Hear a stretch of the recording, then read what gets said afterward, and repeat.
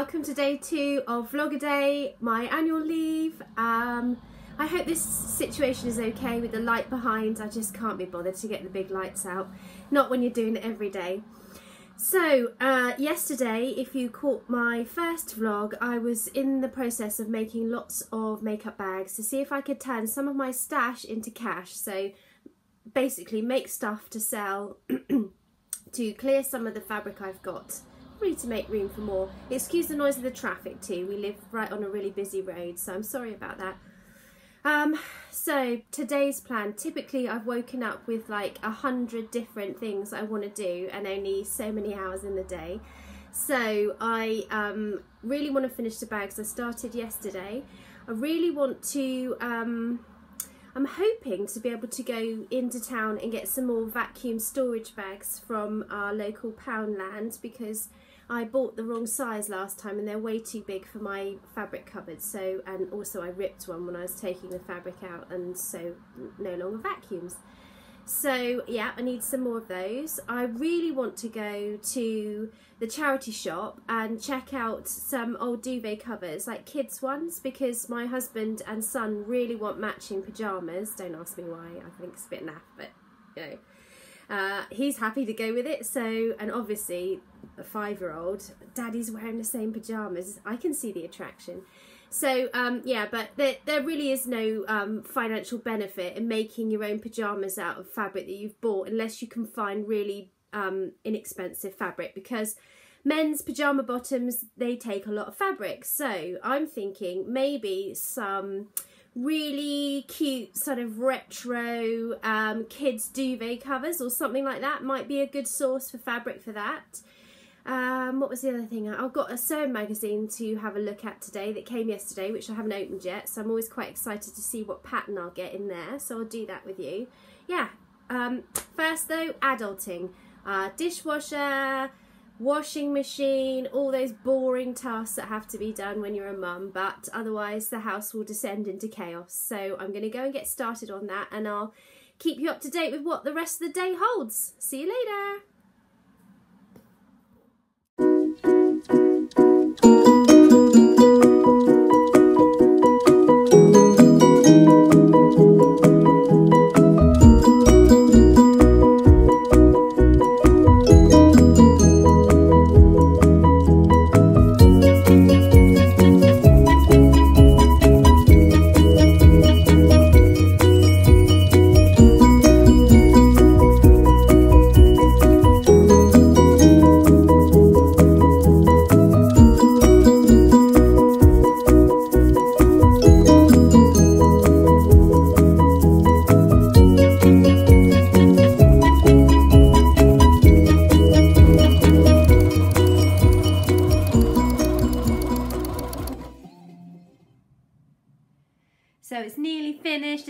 Most nerve-wracking part of the whole procedure because now you've got this perfect, perfect bag.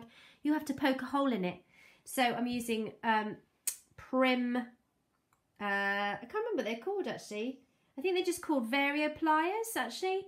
Um, and some snaps and what I've done is stuff the bag full of um, like kids stuffing.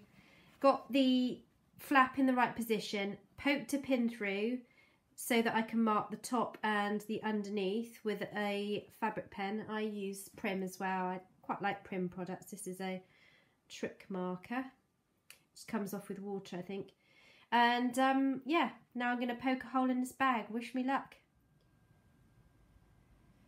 I did it! How cute does that look? So I'm a bit limited on the snap front. I have got uh, in my bag here which is not very organised as you can see. Gold red and blue and black. That's all the colours I've got. So I've tried to pick colours for the bags that will match the colours I've got and I think that looks absolutely lovely. So yeah pleased with that one. On to the next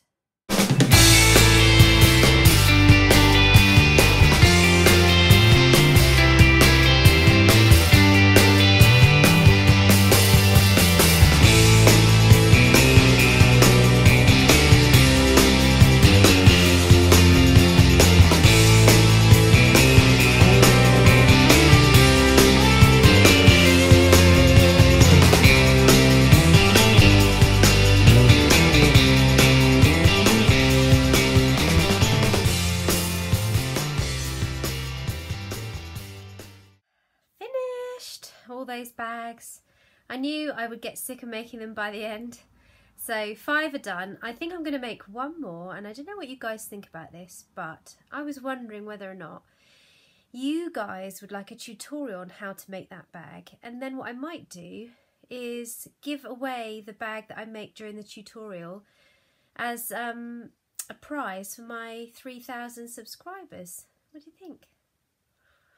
Could be an idea, huh? Oh, that's the cat. She's just popped upstairs. So I'm just having a quick sit down with a cup of tea and I'm going to have a quick look through my sewing magazine.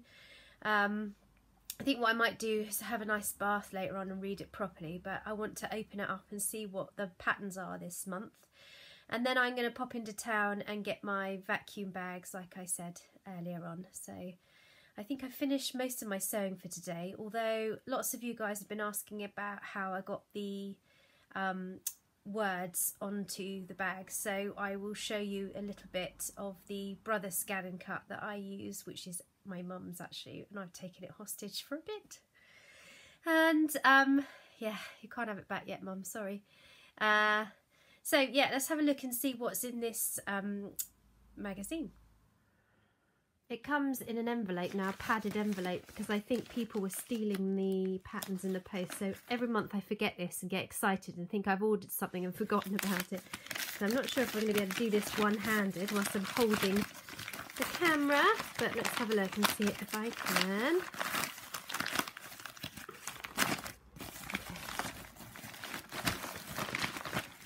Just one second. Right, there it is. Oh, look, there's Lisa right on the front. Ah, this looks like an interesting copy. So, Sew Over It book, Sewing Bee, wrap dress styles. Oh, I like a wrap dress. There's Esme on the top right hand corner as well. Um, I wonder what the patterns are this month. I always look forward to getting my sewing magazine and then having a nice bath and just reading through it and getting inspiration and ideas. Although I have to say, because I've had a subscription for quite a long time now, sometimes you do get a few repeats on what the pattern... Ooh! That dress is nice. Yeah, sometimes you get um, some repeats on the types of patterns that you get sent, which is a bit annoying. But I've not seen this one before. Let's have a look. Oh, no, I like this one. That is lovely. This could be good for work too. Not sure I'm keen on the collar option. This one is definitely my favourite. This is sort of almost looks like a shirt dress. Yes. Oh, I. I like it's nice with the um, three quarter length sleeves as well. Oh, I like this one. Very nice. McCall's M6959 hmm, pleased with that. So it's always a bit pot luck with magazines. Sometimes it comes and it's not something you typically make and other times it's something you really like. So there's another one here. Let's have a look at this. Okay, a jacket. I've never made a jacket before. I really hope the traffic's not annoying for you guys in the background, um, but I've come upstairs because it's the best light.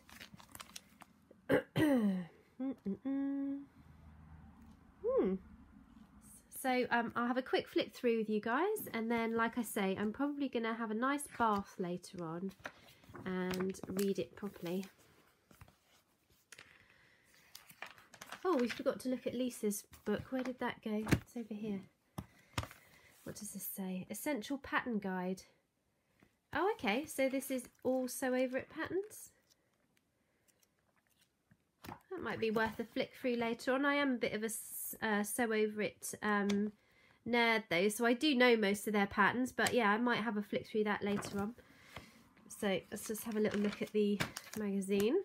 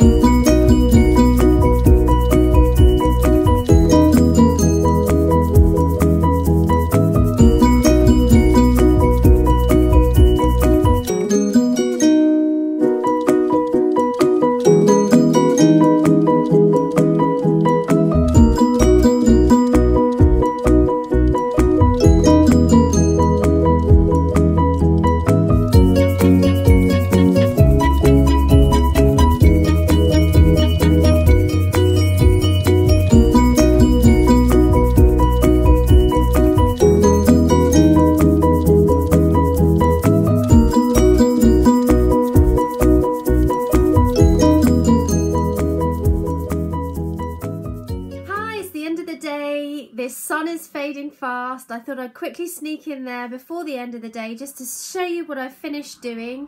Um, so, uh, back with the traffic noise, I'm afraid. Uh, and the kids are downstairs and they don't know I'm doing this. They might burst in at any minute, so adds to the excitement, huh? So, I finished my pouches. I'm so pleased with these. Um, this one with the flamingos on, if you can see, I just open it up. It's lined. I was really careful with my pattern placement so I would get the flamingos in there looking beautiful with their heads up. This one is actually already sold, providing it for a toothbrush. So um, yeah, one of my friends, Emma, really liked this one. So that's going off to her. Then I've got this one with the red and the denim. And this one is lined like this. So yeah, it's a lovely, I like the denim on this one actually, it's a really nice colour. Then this one with the pink writing and the brown polka dots. And it's lined with the green. And I used a gold snap on this one. And then this I think this is my favourite. If I had to choose one to keep for myself this would be my favourite.